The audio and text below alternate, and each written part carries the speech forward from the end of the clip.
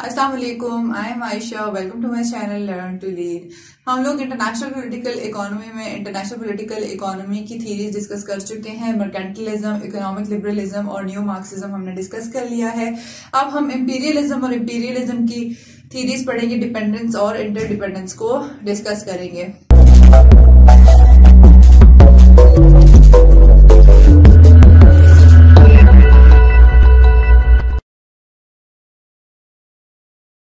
तो पहले हम ये देख लेते हैं कि इंपीरियलिज्म क्या होता है। देखिए इंपेरियलिज्म का कॉन्सेप्ट ये है कि कोई भी जो स्ट्रांग स्टेट होती है, वो वीकर स्टेट्स को इन्फ्लुएंस करती है। अब ये इन्फ्लुएंस किस किस तरह का हो सकता है? ये इन्फ्लुएंस ये होता है कि वो पॉलिटिकली इन्फ्लुएंस कर सकती हैं इकोनॉमिकली या सोशली कोई भी स्ट्रॉन्गर स्टेट जब पॉलिटिकली इकोनॉमिकली या सोशली किसी वीक स्टेट को डोमिनेट करे, किसी वीक स्टेट के ऊपर अपना इन्फ्लुएंस कायम करे, इसको इंपीरियलिज्म कहते हैं। ये इंपीरियलिज्म अब स्टेट्स किस तरह से करती हैं और कौन सा इंपीरियलिज्म ऐसा है जो अभी प्रैक्टिस हो रहा है या नहीं, वो देख लेते हैं।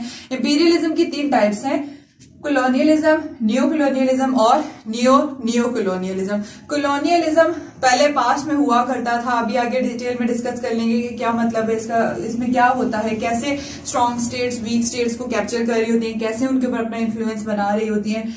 इसी तरह से फिर कॉलोनियलिज्म थोड़ा इवॉल्व हुआ तो एक नए तरीके से, क्योंकि कॉलोनियलिज्म फिर माना नहीं जाने लगा। यूएन बन गई, उसके बाद स्टेट्स में राइट टू सेल्फ डिटर्मिनेशन आ गया तो न्यू कॉलोनियलिज्म का कॉन्सेप्ट आ गया। और करंटली जो colonialism current form of imperialism जो है न्यू न्यू कॉलोनियलिज्म ये प्रैक्टिस हो रहा है तो ये किस तरीके से हो रहा है, इसमें स्टेट्स को कैसे इन्फ्लुएंस किया जाता है, ये देखते हैं।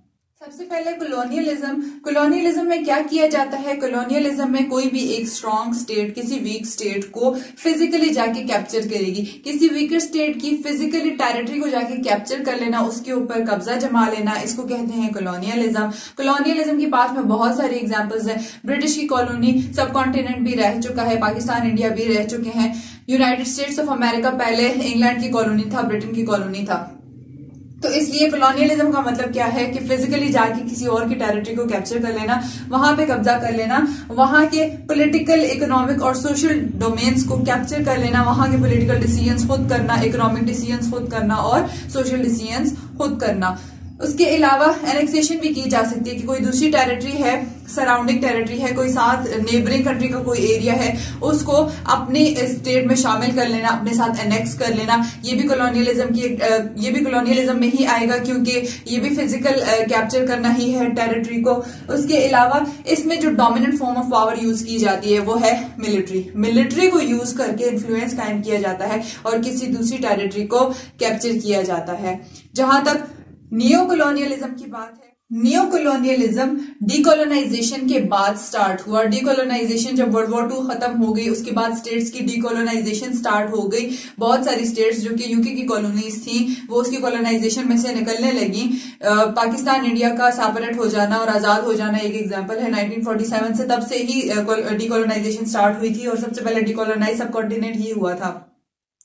तो डीकोलोनाइजेशन हो गई जब तो उसके बाद यूएन क्योंकि बन चुकी थी और अब स्टेट्स को कॉलोनाइज नहीं किया जा सकता था तो अब क्या हो रहा था? अब कॉलोनाइजेशन की एक नई फॉर्म स्टार्ट होगी, वो क्या कि इंस्टीट्यूशन बना लो और इंस्टीट्यूशन में अगेन पावरफुल की ज़्यादा डोमिनेंस होगी। जब पावरफुल की ज़्यादा डोमिनेंस होगी तो वो वीकर स्टेट्स को, उनके ऊपर इन्फ्लुएंस करके, उनको ब्लैकमेलिंग करके, उन इंस्टीट्यूशन के ज़रिए क्या कर पाएँगी? अपनी बात मनवा पाएँगी, उनको इन्फ्लुएंस कर पाएँगी, चाहे वो पॉलिटिकली है, चाहे वो इकोनॉमिकली है, या चाहे वो सोशली है।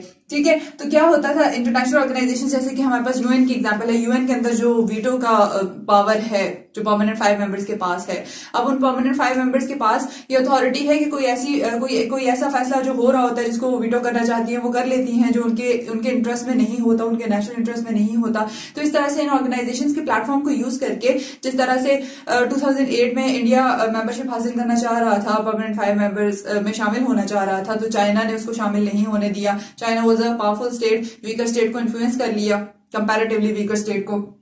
तो इस तरह से ब्लैकमेलिंग के ज़रिए किसी भी और स्टेट के ऊपर जो भी इन्फ्लुएंस कायम करना चाहा जा रहा हो स्टेट्स करती हैं नियो कॉलोनियलिज्म के ज़रिए। इसमें सबसे ज़्यादा सिग्निफिकेंट एस्पेक्ट जो होता है, वो पॉलिटिकल इन्फ्लुएंस होता है, क्योंकि आप पॉलिटिकली इस तरह का प्लेटफॉर्म यूज़ कर रहे हो, बाकी स्टेट्स को पॉलिटिकली अपने साथ मिला लेते हो और अपने नेशनल इंटरेस्ट को देखते हुए दूसरी किसी भी स्टेट के ऊपर इन्फ्लुएंस जो आपने कायम करना होता है, वो आप कर सकते हो। तो इस तरह से ये न्यू कॉलोनियलिज्म ऑपरेट होता है। जहाँ तक न्यू न्यू कॉलोनियलिज्म की बात है new colonialism current form of colonization है। आजकल जो कॉलोनाइजेशन की जाती है, आजकल जो इम्पीरियलिज्म हो रहा है, वो न्यू कॉलोनियलिज्म की फॉर्म में हो रहा है। किस तरह से? आप वीकर स्टेट को इकोनॉमिक इन्फ्लुएंस में लेके आ जाओ। वीकर स्टेट को इकोनॉमिकली इन्फ्लुएंस करो।